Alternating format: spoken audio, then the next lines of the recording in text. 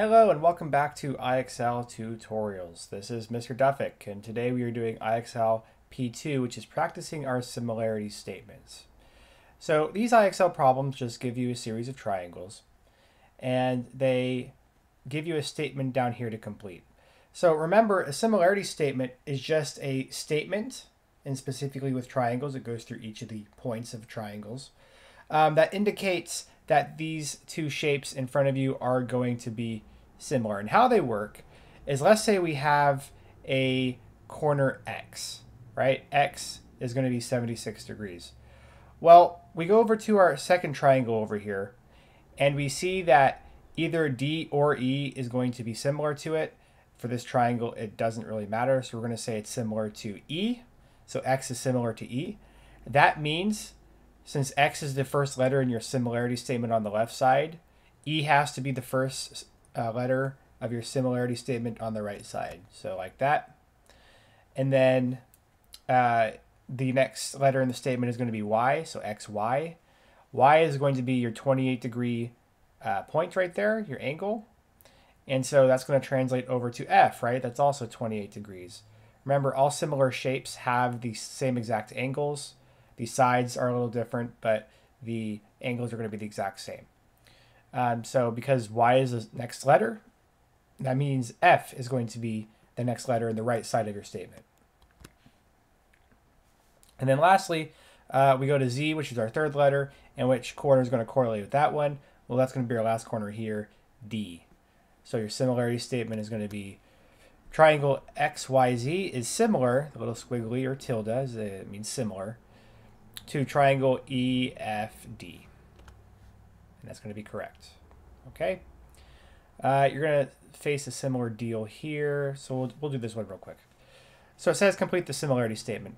PQRS. All right. So we'll go to P and indicate which corner of your second shape over here is uh, corresponding with P.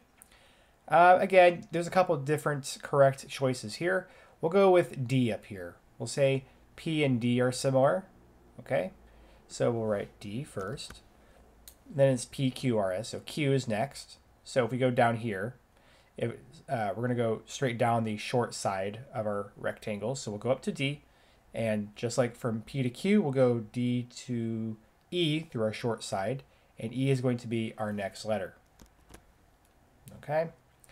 R uh, is going to be the next one. So we're going to jump uh, again toward the next letter through the longer side. And so that is going to be B. Okay, and then lastly, we go to S, uh, and then that's going to correlate with C. And that is our similarity statement. Because similarity statements have to correspond like this. You can't just write them willy-nilly. Each letter from the left side has to correlate with their letter on the right side. That's how we know they're similar. Okay. Same problem as the first one, so we're going to skip it. Okay, here's a better one. So it says on the left we have triangle IJK, IJK, and we have to write a similarity statement. So angle I right here has to correspond with the angle at the same degree measure. So it's going to be 83, right here, E. So that means I has to correspond with E. E is going to be first. And then J is our second letter. J is the 56 degree angle. So we'll go over to the second triangle, see G is our 56 degree angle. That's going to be next. And then K is going to be 41, and then F is going to be 41. So that is our similarity statement. Okay, so now I'm going to skip a ways. Skip again. Skip again. Okay, so now we're going to get two questions that basically just ask you whether these shapes below are similar.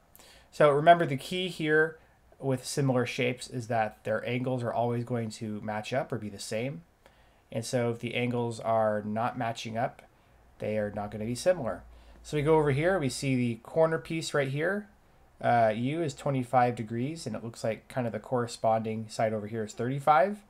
So those are different angles. And then if you go to 58 and 97 and 59 and 86, those are all different degree values for uh, the triangles, right? So definitely not similar. Again, similarity uh, uh, statements and similar triangles need to have those uh, correct matching angles.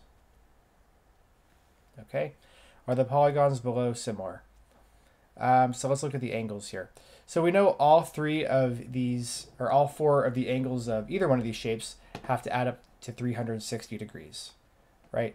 So this missing angle plus 52 plus the missing angle plus 52 equals 360 degrees. And so what we'll do is we'll take a copy of this and we'll just write that out algebraically.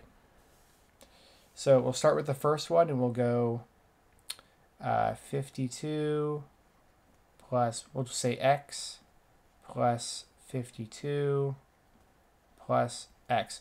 And the reason why we can say these are both x is remember, um, with the angles, if the amount of rings on a certain angle matches up with another part of the shape, they are going to be the same. So one ring here and one ring here means that these two angles are going to be the exact same. Just like over here on the second, um, the second shape, these two rings and these two rings, uh, th that means those two are going to be the same there. Okay, so that means we can put them both equal to x and then the whole equation to 360. So we'll combine like terms. 52 plus 52 is 104 plus 2x equals 360. We'll subtract 104, 104 from both sides. We're left with 2x equals 256. And then divide both sides by 2. And we have 128. Okay, so we, we see that these two angles are both 128. Is that going to correspond with any of these angles here? No. It says these angles, the supposedly similar angles are 139 degrees, which does not match up, which means these two are not going to be 52. So that is going to be a no. Okay. Um, what else? Okay. Uh, so you can look at both of these uh, trapezoids right here, and you can see that all of the angles are similar. They're matching up. So we look at the top two angles right here at S and T, and then the corresponding ones at F and G. And you see that they all have just one ring, right? So if they all just have one ring, that's going to mean they're all the same angle. And then down here, the two bottom corners and the two bottom corners all have two rings, meaning they're all going to equal the same thing. So all of the angles are going to be the same. Okay? Um, so it's looking good for us. But we are looking at another problem here. Not only do all of the angles have to match up, all of these sides have to be proportional. So we look at one side of the trapezoid here, which is 8, and then we look at the corresponding side, which is 12. So we can write a proportion ratio or fraction between those two sides as 8 over 12, right? Like we went over in class. But when you go over to the top side up here, both of the lengths here remain 4 which doesn't add up, right? The proportion ratio uh, for one shape to the other has to correspond with every single side measurement, not just one of them. So even though the two eights and the two twelves can match up that way, the 14 and the 19 do not, and the 4 and the 4, they actually stay the same. So these shapes are not similar because even though the angles are the same, the same proportion ratio does not stand for every single uh, measurement of the two shapes. So we're going to say no for that one. Okay, so this is the last one I will do. Are these polygons below similar? Um, so what we're going to do is we're going to look at two things. One, we're going to look at the angles, and then two, we're going to look at the sides. So number one, are all the angles matching up?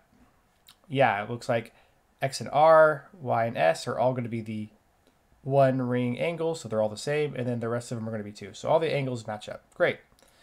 Two is we're going to see if all of the sides match up. And what I mean by match up is if they are proportional, right? So what we're going to do is we're going to set up proportion ratios. We're going to make sure uh, the tops are the same ratio as the sides. So what that's going to look like is we'll go top over top equals side over side. And so we'll go 4 over 10 equals 6 over 15. And we'll see if this matches up. Okay, and how we're going to do that is we're going to cross multiply here. Do the helicopter method. 4 times 15 is 60, and 10 times 6 is also 60. Okay, so those are similar then. Those are, those are going to equal the same thing.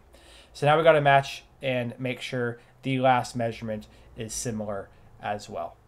So we'll do, it doesn't matter if you do the top or the side since we know they are now proportional. We'll just do the top for simplicity's sake.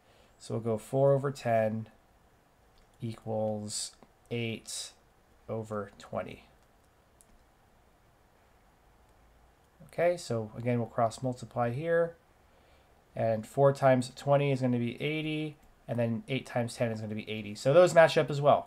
So we're all good then. That means these two shapes are indeed similar because one, all of the angles match up, and two, all of these sides match up.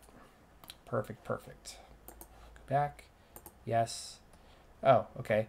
Complete the similarity statement and then write the ratio. Okay, I guess. So we will, uh, let's see. So it says VWXY, VWXY. So we'll start at our corner down here, which looks like T is going to correspond with, followed by W. So we'll go along the, the long side, right? End up at Q. And then go up to X, so go up to R. And then finish at Y, so finish at S. All right. And then uh, simplify the similarity ratio and write it as a proper fraction. Improper fraction, our whole number. Okay? So the similarity ratio between the two is going to be, uh, it's going to be 10 over 4, which simplifies to 5 over 2. Okay? So we'll do that and that is going to be correct.